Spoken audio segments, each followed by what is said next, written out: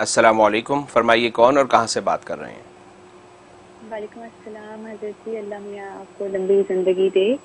میرا سوال روح کے متعلق ہے۔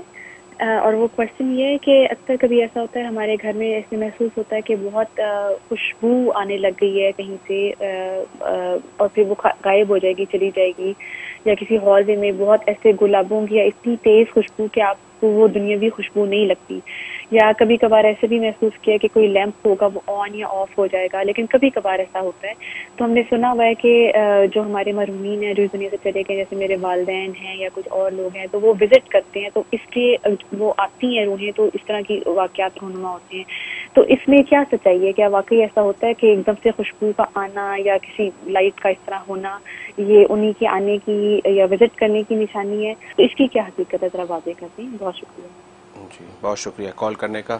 جی حضرت۔ بکیا ویڈیو دیکھنے سے پہلے ویڈیو کو لائک کریں رحم ٹی وی چینل کو سبسکرائب کریں اور بیل آئیکن پر کلک کریں۔ شکریہ۔ جی ماشاءاللہ ماشاءاللہ سب سے پہلے آپ کی محبت کو شکریہ۔ اللہ تبارک و تعالی برکت عطا فرمائے۔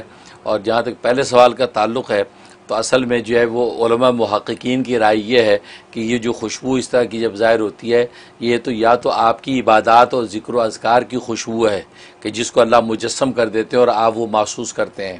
یا پھر ملائکہ ملائکہ مقربین جو اترتے ہیں، ملائکہ ان کی خوشبو ہوتی ہے، اس خوشبو کو اللہ تبارک و تعالیٰ ظاہر کر دیتے ہیں۔ بس اوقات رجال غیب جو ہے، اللہ تبارک و تعالیٰ اور ایسی غیب میں مخلوقات ہیں کہ جو جو چلتی پھرتی ہیں، نیک مخلوقات ہیں، ان کی خوشبو ہوتی ہے کہ جو بس اوقات ظاہر ہو جاتی ہے۔ لیکن جو مرحوم ہو چکے دنیا سے چلے گئے ان کی روحیں آ سکتی ہیں یا نہیں؟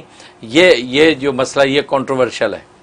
لیکن اس میں علماء محققین کی رائے یہی ہے کہ وہ روحیں نہیں آتی۔ ہاں ان کا کنیکشن دنیا کے اندر جو قبر میں ان کا بدن ہے، اس بدن کے ساتھ رہتا ہے۔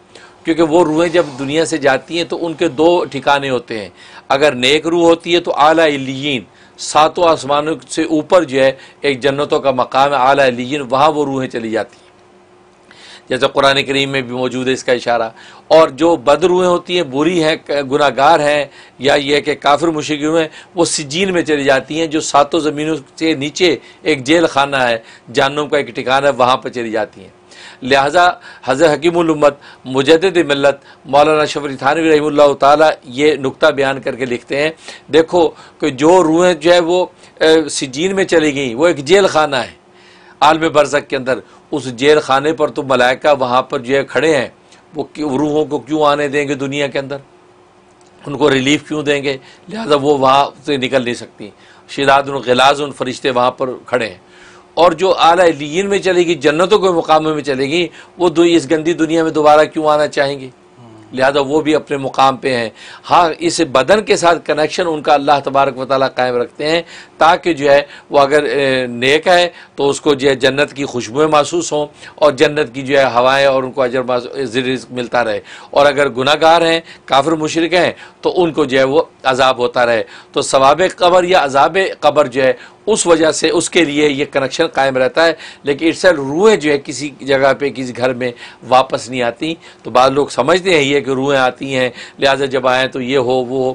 لیکن یہ کہ علماء محققین جیسے میں نے بتایا، وہ اس کے قائل نہیں ہیں۔ وہ یہی کہتے ہیں کہ اعلیٰ علیین وہ اچھا مقام چھوڑ کے کون برے مقام میں آنا چاہے گا؟ اور سجین میں سے فرشتے آنے کہاں دیں گے؟ تو یہ عقل کا تقاضا بھی ہے کہ روحیں آتی نہیں ہیں۔ اور نصوص قطیہ کے اندر بھی اس قسم کی کوئی سند موجود نہیں ہے کہ وہ کہا جائے کہ روحیں مرحومین کی واپس آتی ہیں۔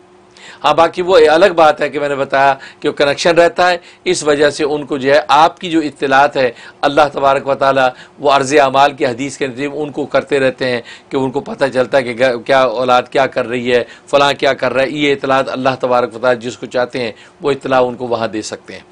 اس میں کوئی مذاکرہ نہیں ہے۔ اس طریقے سے یہ روحوں کا تصور ہے، یہ روحیں گھروں میں آتی نہیں ہیں۔ جی۔